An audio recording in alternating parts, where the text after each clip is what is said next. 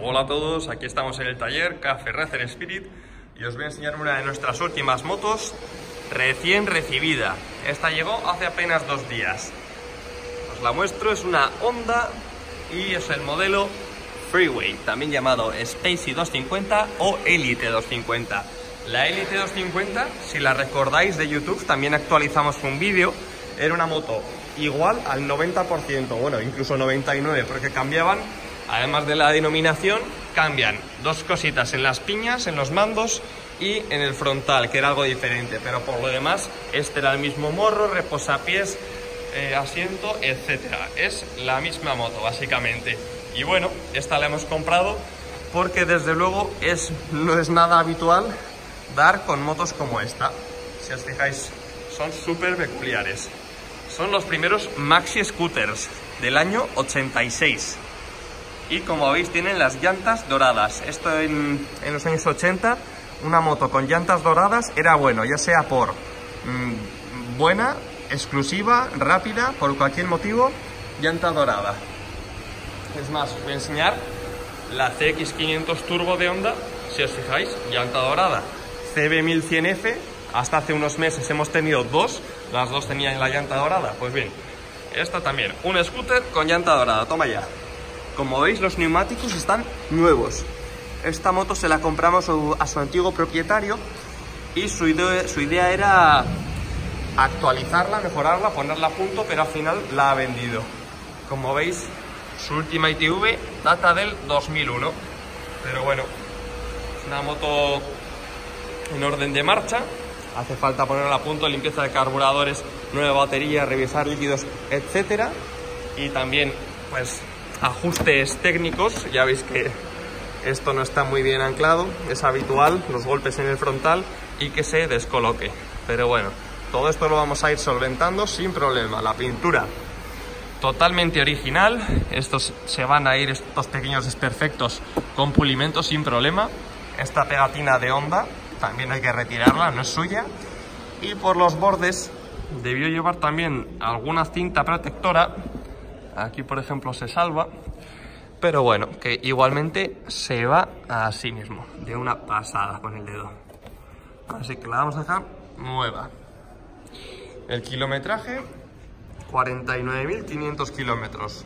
Mira, ahora que veo esto el cuadro, se echa en falta también, aquí tenemos la Aura, pues aquí la Elite 250 tenía un botón para cambiar de millas a kilómetros, aquí en el cuadro digital.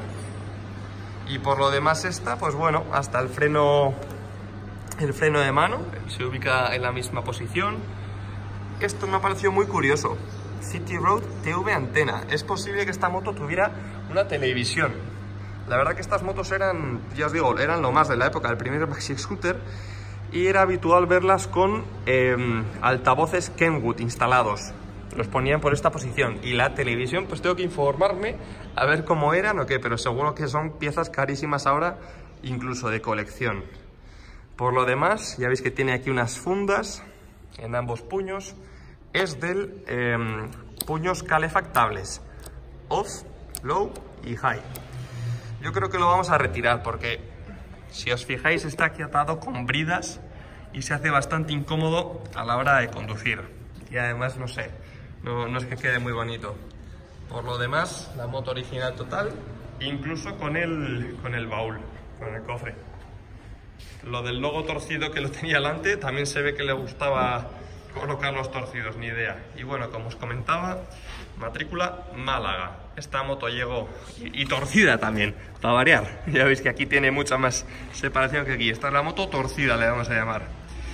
Bueno, el resumen. Esta moto llegó desde Japón en un contenedor se matriculó en Málaga cerca del año 90. Y bueno, pues la cogió una persona, la matriculó, la disfrutó y más tarde la cogió otra. Nosotros somos los terceros propietarios. Entonces, bueno, una moto bastante peculiar y ya veis que está sin batería, no ilumina ningún testigo. Lo que voy a hacer es enseñarosla antes de restaurar y después de restaurar. A ver qué entendéis de aquí. Yo lo veo claro. las presiones de los neumáticos y mantenimiento indica.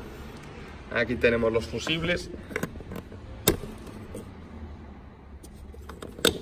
El freno de mano, como lo comentaba antes, se accionaría así, la palanca para arriba, intermitentes bocina y las luces, además del arranque. Para arrancar la moto, lo que hay que hacer es pulsar el pedal de freno al tope y darle al arranque, por supuesto, con el contacto dado. Cerramos esto y seguimos grabando. Vamos con el cofre. Se puede abrir de dos posiciones. Esta era la del contacto, pues tengo esta otra llave aquí. Y más letras en japonés, por supuesto. Nos llegó con un manual que le damos bastante importancia a estos, a estos detalles, ya que hice bastante del propietario, como que es cuidadoso, además del propio manual, que sí que sirve. Entonces, bueno, viene en inglés y es un buen tocho. Pero bueno, que la mecánica de esta moto ya la conocemos, igual, la nuestra, igual que nuestra anterior Elite 250 y por cierto tiene el mismo motor que las Honda Espacio, que son más habituales y también son motos bastante peculiares, por no decir feas, ¿no? con un morro, morro pato raro. Y también esto nos ha parecido bastante gracioso, venía en la primera hoja. Satoshi Sakamoto. No tengo ni idea, que lo mismo es un restaurante chino o fue quien trajo la moto, su primer propietario. No, ni idea, tengo que informarme. Pero aquí venía y aquí lo guardo.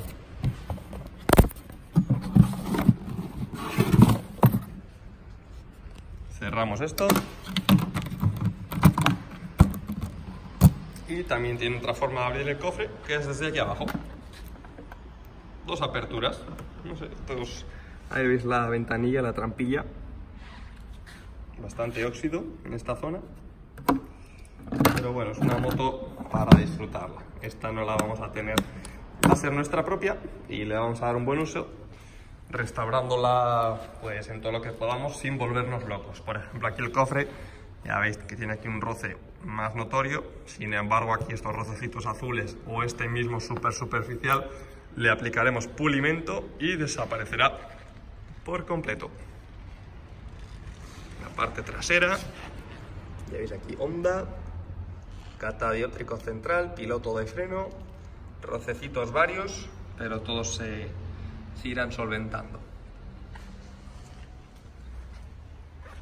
El asiento, original total y muy bien conservado. Voy a accionarlo también para, para que veáis que se esconde bajo el mismo. Esto es exactamente igual que nuestra Elite 250. El depósito de gasolina, aquí estaría. Y para los que queráis saber la referencia del color, ahí lo pone también. Más letras en japonés y el número de chasis al lado. Fórmula Shell y bueno, el asiento sí que está perfectamente conservada la base. También me fijé que aquí pone 250 grabado, que esto sería su cilindrada. Y bueno, su cofre también incluye un respaldo para el pasajero. Esto era como una, una Goldwing, pero bueno, el scooter de las Goldwings. Los retrovisores un poco locos. Lo que he hecho ha sido soltarlos para llegar a, a esta zona.